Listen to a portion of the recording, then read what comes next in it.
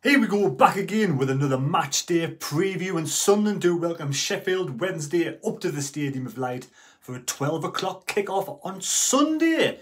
Yes, the championship early pace setters. Sheffield Wednesday top of the table on goal difference after a great start of the season. So, only one person got the correct score against Preston on Tuesday night. That was David Jones who said Preston would win 2-0. So you go into the hat along with the previous people who got the correct score for the Cardiff game. And also, whoever gets the correct score against Sheffield Wednesday will also go into the hat for a chance to win one of these two shirts. Choice will be yours. Now, talking about shirts before we go into the preview, here is the third kit. It looks like a pair of pyjamas, doesn't it? I'll tell you what it is. Regardless what it represents, which is absolutely amazing to do with the mine, miners and to do with Sunderland AFC, of course. The colours and the design itself, in my opinion, is absolutely horrendous. It's probably the worst kind of design I've seen for a long time. And the, the mishmash of colours, you can't really see what's on the shirt. And also that's black and white, bit stripes on the end of it the sleeves as well. So end of the day, it's not my cup of tea, in my opinion. There's no way Jose will be purchasing that shirt out of the three strips this season. That is way, way. We've got 10 out of 10 for the home one, 10 out of 10 for the away one. I'm giving this a mere 2 out of 10. It is absolutely awful in my opinion and a poor design. But everyone has different opinions let me know your thoughts down below on the third kit that we've just released today. So Sunderland do welcome Sheffield Wednesday up to the Stadium of Light. I hope the fans have a great journey up. Got a few fans who come on the channel, absolutely fantastic. And may the best team win. Now, Danny Röhl is still the head coach there, 35 years of age. There was rumours that we were going to try and kind of sort of poach him to Sunderland. But he's, you know, he's dedicated his future to Sheffield Wednesday, which is full respect to that. 35 years of age, 40 games in charge, 118, drawn 6, lost 16, and the last game of the season at home was against Sheffield Wednesday. They did beat us 2-0 to survive in the championship.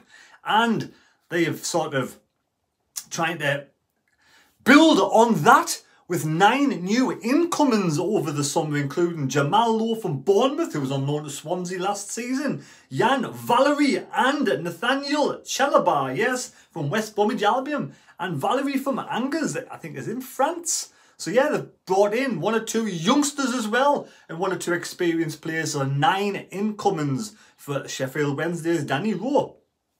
Like I said, they had a good end the last season to survive in the championship. They did beat Blackburn 3 and 1. West Brom at home 3 and 0 and of course Sunderland 2 and 0. So watch your score predictions down below on that? It'll be a tough game. They also went during the week and they played away at a Hull in the EFL Cup where we changed our full 11. And I can understand why he did that. Regis Labrida, he did that to see, to give the team experience, to give the lads a run out to see what they're capable of doing. And of course, the one thing that I disagree with, he should have let the fans know well in advance what he was going to do.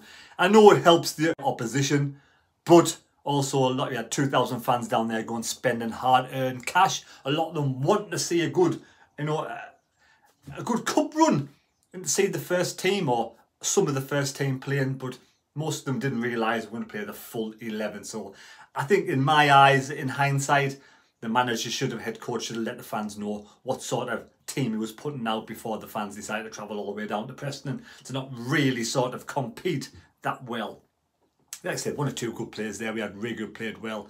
Ekwah did well the first 45 minutes. And Noah, you know, made one or two good saves. Ekwah, though, Udinese has put a bid in, apparently, believe, put a bid in for him, which has been rejected by the club of 4.3 million. So what's your thoughts on Ekwah? What's your thoughts on his performance during the week? He has had a bit of a pre-season injury. He's come back, good 45 minutes during the week and of course he can build on that but Alan Browne now is going to be the sort of the first name on the team sheet in that middle of the park with Dan Neil. I can't see Ekwah really getting in there apart from substitutions coming on when, when Alan Browne sort of gets tired. But injuries do happen, touch wood, they don't happen at the club this season. We've been plagued with loads of injuries over the last few seasons. Let's touch wood. It doesn't happen this season. I think it'll be the same team. The rest of the whole 11 against Cardiff. One or two of them on the substitutes bench. Rest of the whole 11 after the Cardiff game against Preston. There was one or two on the substitutes bench, but they were rested for this game at the weekend. I think we're looking as if we're going to be trying, you know, having a good campaign in, in the championship and kind of not really sort of putting out full strength sides for the cup matches and hopefully when we do play in the FA Cup, you'll let us know what the crack is with that one as well. So yes, what's your score predictions down below? Do you think Sunderland can get back-to-back -back victories against Sheffield Wednesday in the Championship? And I don't mean against Sheffield Wednesday, I mean in the start of the Championship this season. And two games, can we get two wins? I want to try and make the stadium like a bit of a fortress. I would like I would like Regis Le Bris and the team to make the Stadium of Light a little bit of a fortress this season. That would be superb if we can go through a good, good winning sequence at home. But Sheffield Wednesday, like I said, have strengthened the team over the summer and will be a difficult game. Now I think the team, like I said, will be the same. Be Patterson in goal, Hume will have Cirkin, Lisi and O'Nien as the back four. Neil, Brown, probably Jobe. We've got Roberts, we've got Clarke and Mayenda up top. Rigg, possibility will come on after so many minutes because he did was rest after 60 minutes, 70 minutes against Preston. He was the best, the best player. Absolutely superb left foot, controls it, controls his, his passing really well. But it does look as well as if we're not getting Mendy at this moment in time. It looks as if I think he's going to be staying at the club where he's at. So that's a at the disappointment. I was looking forward to having a good striker in before the you know closing of the window, transfer window, which is August the 30th. Now, how many players do we need in? Benetti could be another player who could be leaving Sunderland. Whether I don't know whether that's on loan. So Ekwah goes, Benetti goes. Will that free up some funds to try and bring in a striker? we do need two strikers before the, the window closes and for me another central defender. There's work to be done in the transfer window. Let's hope Speakman, KLD can come through with the goods. It would be absolute crying shame. Travesty if we kind of bring in a striker before the window closes. I don't really pin any hopes on Rusyn and Hemir at this moment in time. Mayenda has yet to score. Hopefully he can this weekend. But we do need bodies in. Now, let me know your score prediction down below in the comments for a chance to win one of these two shirts to go into the table and I'll draw it out next week. There we go. Thanks for watching the video. It's a quick one, quick match preview. And I'm sure there'll be a massive crowd coming up from Sheffield as well. Sheffield Wednesday fans, like I said before, always have a good following. So there we go. Subscribe to the channel. Give us a thumbs up. Take care. God bless me. God go with you. Thanks for watching. And we'll see you later. Cheers. Unfortunately, on Sunday, there'll be no bar and grill. It's closed this weekend as Wincy is away on holiday. But Keno, the daft lad, will be going this Sunday. We'll see Keno on the vlog. So there we have it. If you do wish to buy any of those and these Sunderland tops yourself, have a look on LU Soccer. I'll leave a link down below in the description and top of the comments. Have a look and choose one yourself for 10% off TM10.